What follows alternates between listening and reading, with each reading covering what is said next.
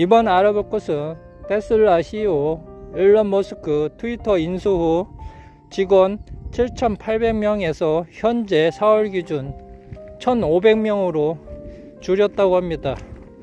1,500명으로 줄여 1,500명이 현재 트위터에서 근무하고 있는데 업무에 지장이 없다고 합니다.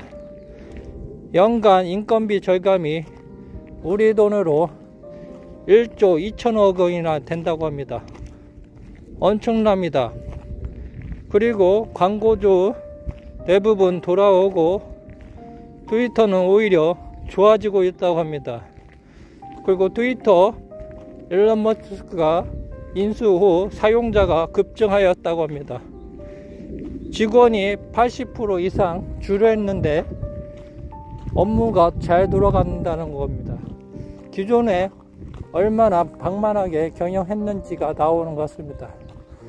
최근 일론 머스크가 BBC 인터뷰 내용 보면 테슬라가 일론 머스크가 트위터 인수 후 6개월 동안 죽을 고비를 넘겼다고 합니다. 그 정도로 힘들게 일을 처리했다고 합니다. 심지어 트위터 본사에서 숙식을 하면서 트위터를 살리기 위해서 엄청난 노력을 하였고 지금은 수익이 날 정도로 경영 상태가 좋아졌다고 합니다. 죽어가는 회사를 살릴 수 있을 정도로 엄청난 경영 능력이 있는 것 같습니다. 이런 일론 머스크가 CEO인 테슬라는 전 세계 1위 회사가 될 겁니다.